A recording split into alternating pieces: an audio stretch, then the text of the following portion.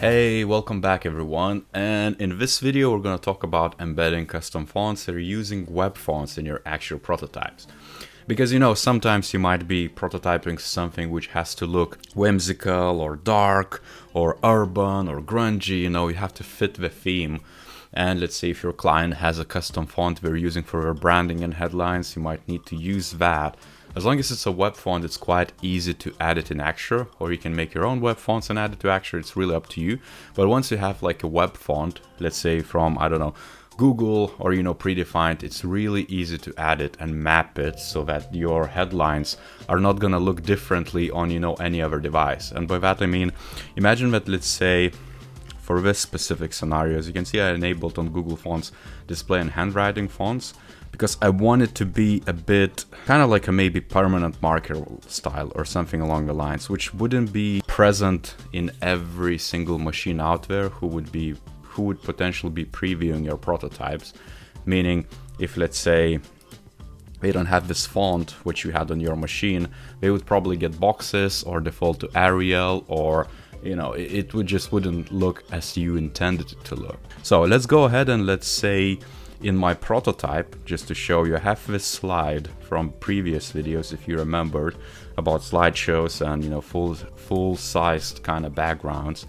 And as you can see, it looks okay. It has, I think, Helvetica or Arial.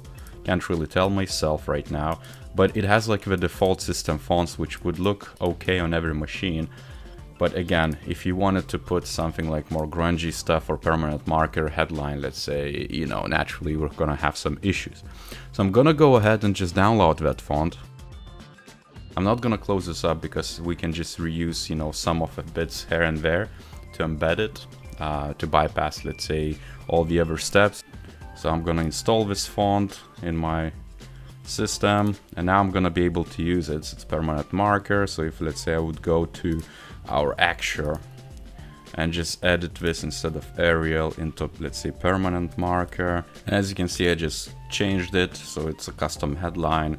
I might even change the text here to something else. Let's say that this is what I'm looking for as a designer. So you know if I would preview on my machine it's gonna look as I intended now if someone else is gonna preview it on their machines it's gonna not look so good and now let's say knowing that, you would just simply, when you share your prototype, you would go to settings, let's say, and you have this fonts uh, tab, which is quite simple, right?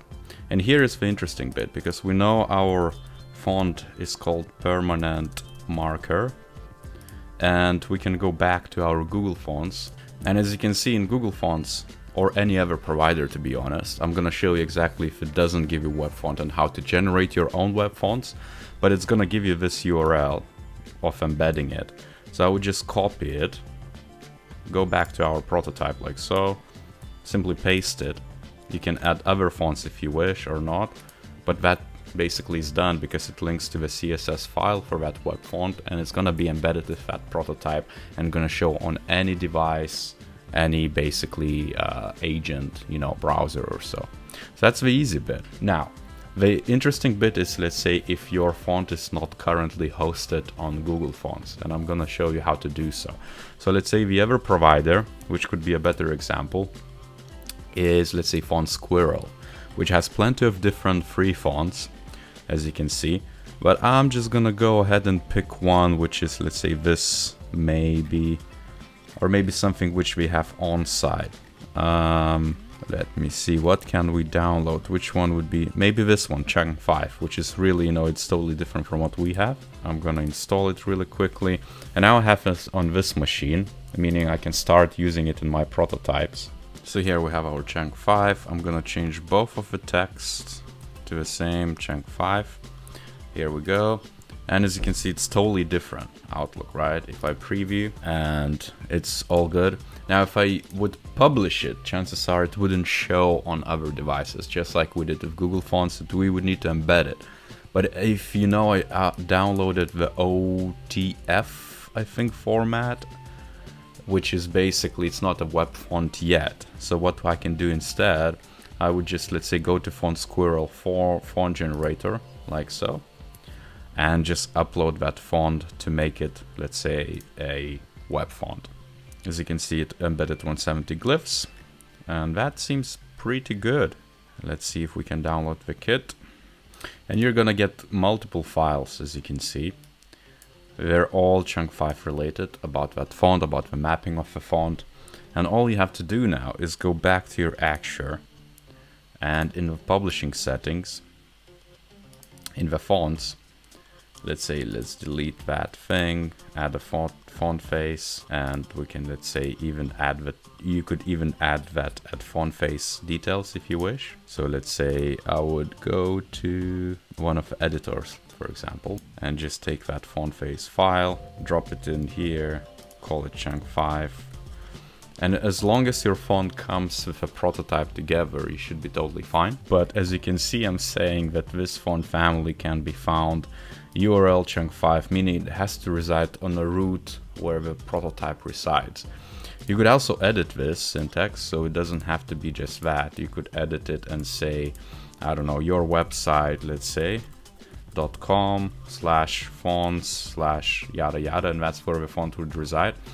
But with every web font, you have to upload it basically somewhere. It has to be hosted. So let's say if a previous example, um, we had it hosted at Google from Google server. So we just took the style sheet file, which you can do for Chunk 5 too, if you can upload that CSS which we uh, previously generated, as you can see here you still need to find a place to upload it. For that, I would recommend to get your own hosting, maybe your own website, and, and have just a folder for fonts and just have a unique link to point it to. And it's as easy as that. Again, it's a bit of cumbersome, but you know, if you have specific fonts, you kind of have to upload it somewhere, you kind of have to attach it to something and, you know, do it that way.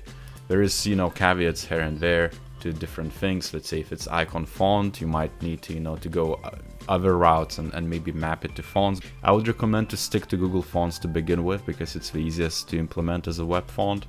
Um, if you cannot go that route where you you know generate your web font, you upload it somewhere, you add it like I just did with Chunk 5. Maybe it's a font face you can do because both of them are going to be generated, or maybe it's a link.css. So you just link it to a CSS file and then it's all sorted for you. So I hope this video was useful as per usual. Give a thumbs up, leave a comment down below, share with your friends and stay tuned for more material.